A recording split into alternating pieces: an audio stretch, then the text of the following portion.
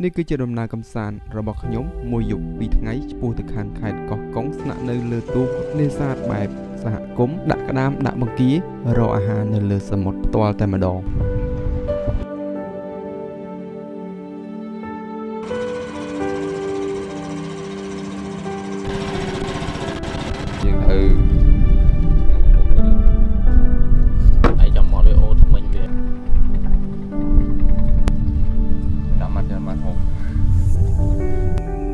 ដេកចឹងបាទបាយនឹងដេកហ្នឹង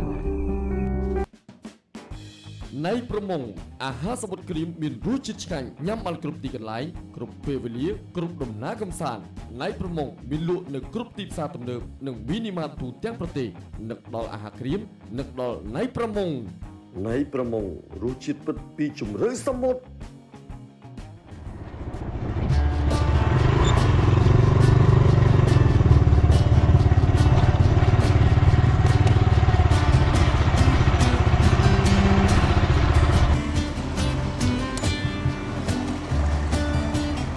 បាទជំរាបសួរសួស្តីទៅកាន់អ្នកដែលកំពុងតែមើលផងដែរ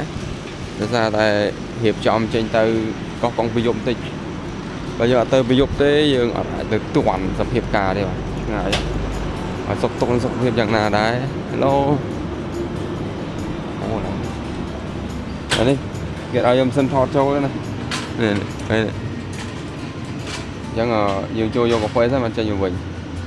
ខ្ញុំត្រូវចូលមកយកកាហ្វេមួយដើម្បីជិះម៉ូតូឲ្យបានឆ្ងាយបន្តិចដោយសារត្រូវងើបតាំងពីម៉ោង3ដូច្នេះមានកាហ្វេមួយបែបនេះគឺជំនួយស្មារតីមែនតើហើយខ្ញុំបានទិញអាហារកញ្ចប់ខ្លះដើម្បីត្រៀមទៅលើកោះព្រោះតែពេលខ្លះគិតថាអាចនឹងអត់ទាន់មានអាហារក៏បានអាហារក្រៀមបែបនេះដើម្បីហូបបណ្ដោះអាសន្នឬក៏យើងហូបមួយបបរសពេលព្រឹកអីក៏បានដែរហ្នឹងហើយខ្ញុំជិះថាហ្នឹងក៏បានហ្នឹងក៏បានទៅបងអេអេបាទ សម្រាប់កុយទៅមកនេះខ្ញុំបរៀនវាទេ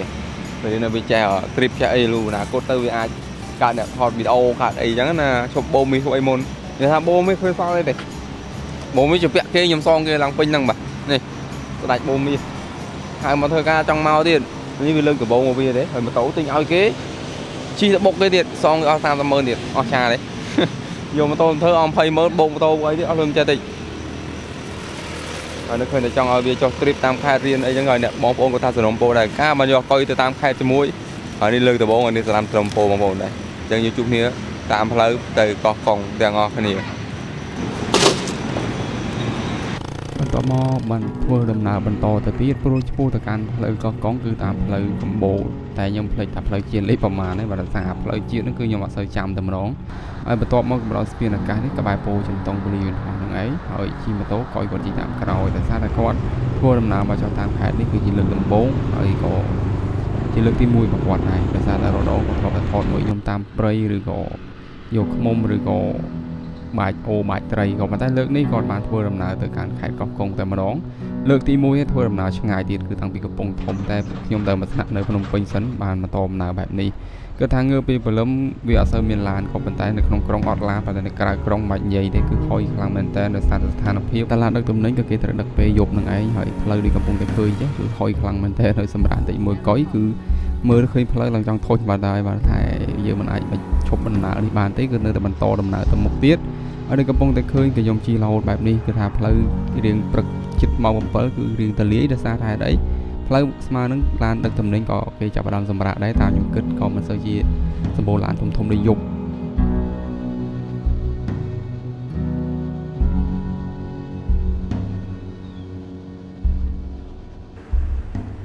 មកដល់កន្លែងនេះគឺត្រូវដូរប្រេងបានម៉ូតូទាំងពីរខ្ញុំគិតថាដូរល្អជាងដោយសារតែធ្វើដំណើរមិនមែនផ្លូវចិត្តទេគឺផ្លូវឆ្ងាយមកដល់មុខបន្តិចគឺឃើញហាងកាទៀវមួយខ្ញុំក៏បានគិតថាចូលហូបកាទៀវពេលព្រឹកនៅកន្លែងនេះហើយដោយសារតែងើបតាំងពីយប់នោះមកដល់កំពង់សិលាបាទអូរៃថាយំដល់ក៏តាមលើយប់យកហ៊ានជិះលឿនខ្ញុំខ្លាចដែរព្រោះឡានធំធំបាត់ទំនិញពេលយប់ពេលផឹកអីហ្នឹងសម្បូរចាប់ពីស្មើនេះស្ងាត់ឡានយើងអាចសុទ្ធបានទាំង8ដល់900បាទអញ្ចឹងសុវត្ថិភាពគឺចម្បងបើ ថាផ្លូវតលាយជិះលឿនទៅផ្លូវឆ្អៀតមិនបាច់បង្ខំតណ្ហាទេបាទពីព្រឹកមិញជិះខ្លាំងមែនតើចេញមកពីពេញហ្នឹងចេះចេញមកពីព្រឹកតែចេញមកពីយប់អស់ចេញមកយប់ម៉ោង7 8ចេញមកហ្នឹងក្នុងមានមករួច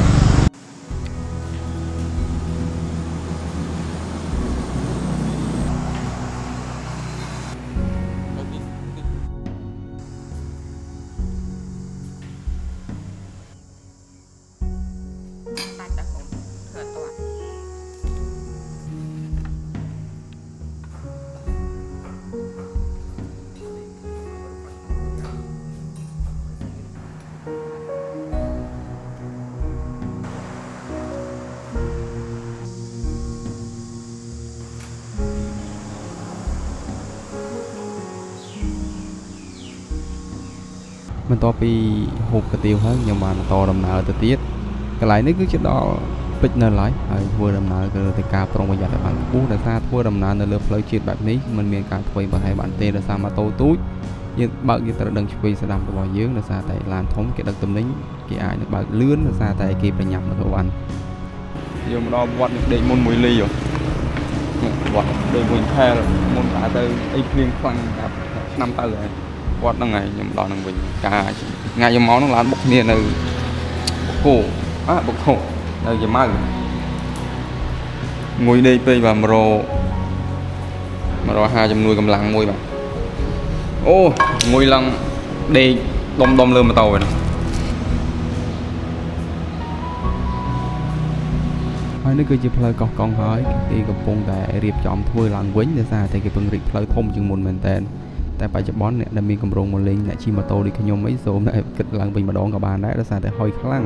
ក៏ប៉ុន្តែមិនជាបញ្ហាទេសម្រាប់អ្នក trip ម៉ូតូក៏គាត់ស្ទមជាមួយនឹងបញ្ហាបែបនេះហើយ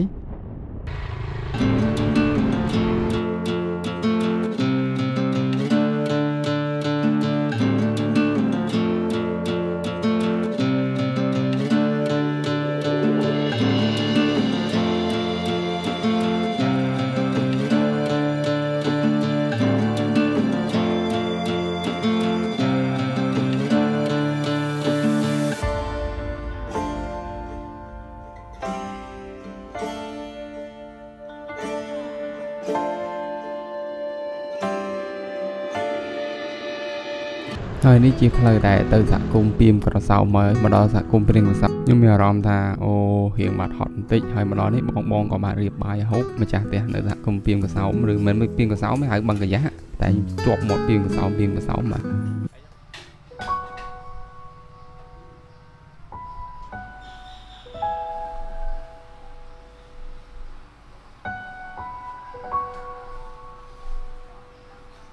អរុនសួស្តីក៏ជម្រាបសួរទៅកាន់អ្នកដែលកំពុងតែមើលហើយនេះជាព្រឹកទី1ដែលខ្ញុំបានមកដល់សហគមន៍ពីមក្រសោមហើយហើយយើងក៏បានរុករះរៀបចំនៅណាកាហ្វេក៏កាហ្វេនៅណាមិនទាន់បាយព្រឹកក៏អាចទៅរកបានដើម្បីបន្តដំណើរឆ្ពោះទៅកាន់កោះតទៅទៀតដោយសារតែព្រឹកនេះយើងត្រូវចេញទៅនេសាទមួយបងហើយបងក៏នាំទៅនេសាទបែបគាត់នេសាទពីមុនមកហើយខ្ញុំធ្លាប់និយាយលេងមួយគាត់ដែរថាពីមុនខ្ញុំចង់ត្រឡប់មកវិញលើកនេះខ្ញុំចង់ទៅនេសាទហើយចង់គេងនៅលើទូកមួយគាត់តែម្ដងហើយលើកនេះ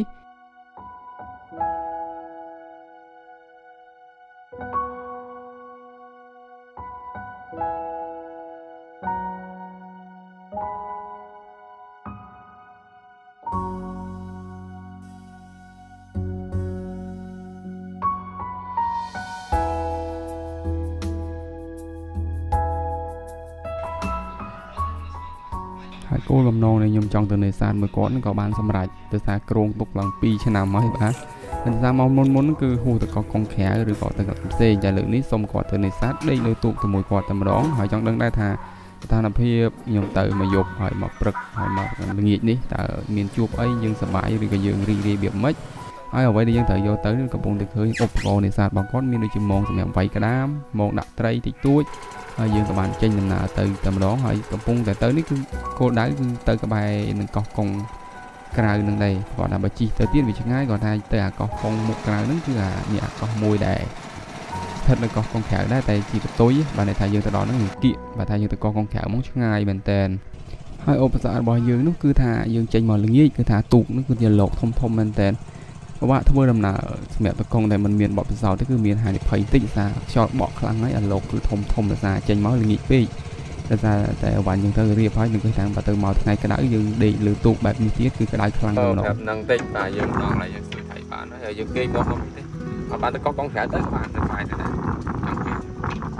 ហើយហេតុអីមិនទឹកឡុកធំធំណាស់តែចេញពីលងាច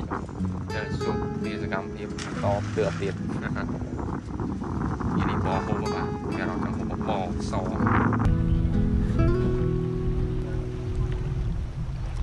chạy lên tôi chạy lên trong vậy chăng á chuột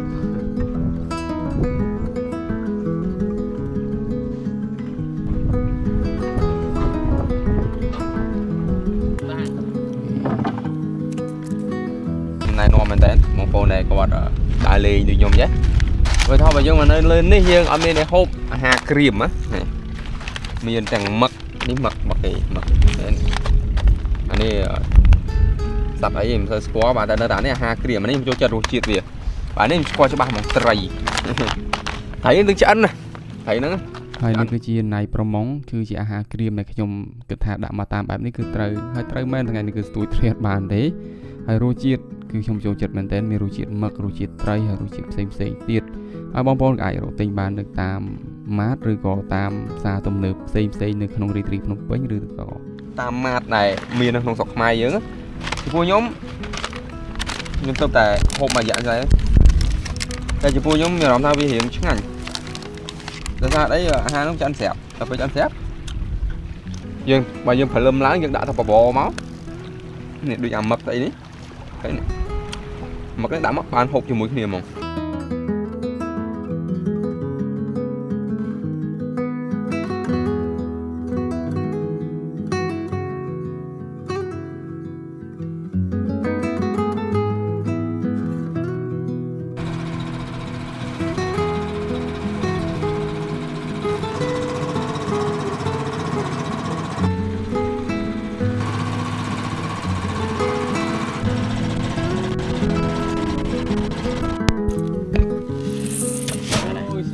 ស៊ីបទៅស៊ីបទៅសប្តាហ៍ចេះវីដេអូរូបអាហ្នឹងវាបៀបមិនអាវីដេអូរូបហ្នឹងណា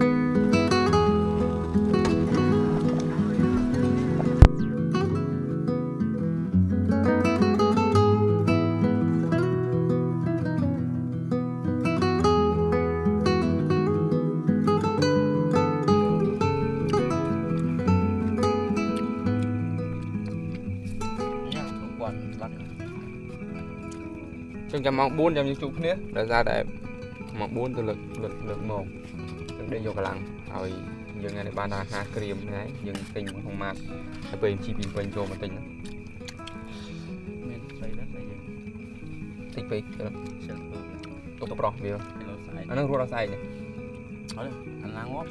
មានងាប់ងាប់យើងលើកឡើងអូកាត់សេវាអាណារុំយើងប្រុសតែវា តែធ្វើមកអីទូទូនៅថ្ងៃនេះមកស្គាល់ថៃហ្នឹងនេះនេះបានក្តាមច្រើនហូបយកកម្លាំងយកទេទៅស្ដីបាយទៅជុំមក4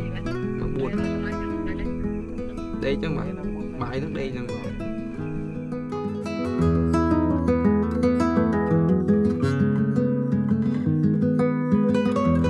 អូម៉ៃ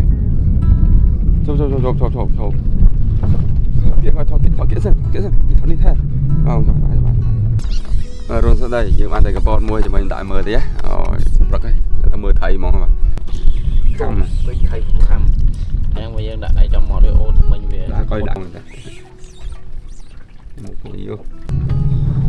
អូយថាយំមិនដេកអត់លក់ទេទៅទៅកងទូកទៅនេះដេក1ម៉ោងស្មើដេក3ម៉ោងអីក្រោមម៉ោង10ស្មើម៉ោង3ទេវាវាក្តៅវាក្តៅចម្លែកអាចចំហាយទឹកមក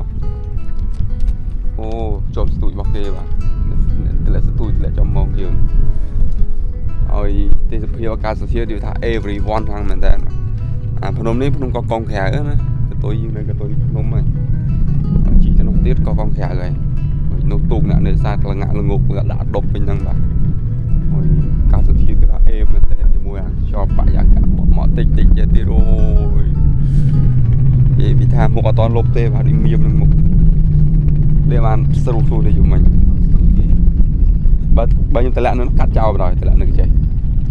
មកចាស់មកគេតែកាត់តែកាត់ស្ទូចហើយគេដោះហើយពេលខ្លះយើងអាចដោះបានយើងដោះបើដោះអត់ចេះហ្នឹងយើងអាចកាត់ទៅយើងមិនកាត់កាត់កាត់ចោលកាត់លក្ខណៈកាត់នេះតឲ្យគេអូយគាយើង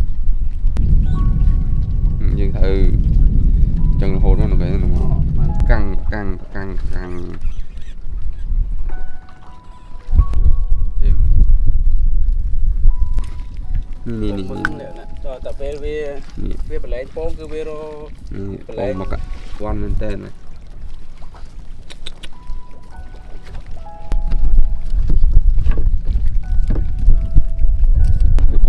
ជាងគាត់ថតដែរតាន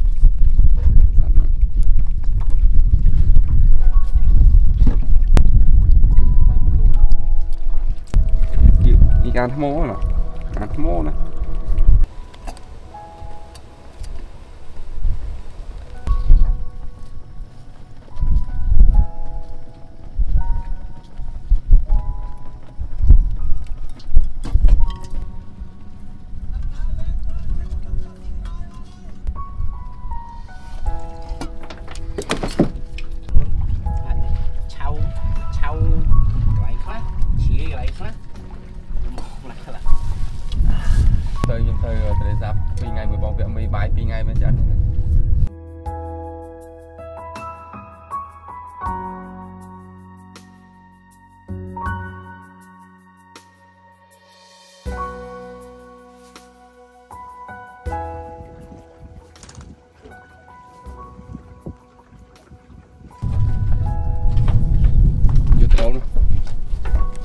ក្តាមខ្លាតែខ្ញុំដាក់ស្គាល់បាទ